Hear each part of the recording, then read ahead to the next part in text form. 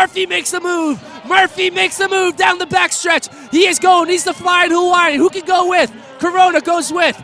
It's Corona and Murphy. Murphy, 200 meters to go. 13.07 on the clock right now. Simbasa moving up. But Corona has another gear. Corona on Murphy. Can Murphy hold him up? It's Pierce Murphy, but Sydney Gidabuday. Sydney Gidabuday moving up. The two Colorado boys going neck and neck. Patrick Corona. It's a Colorado battle right now.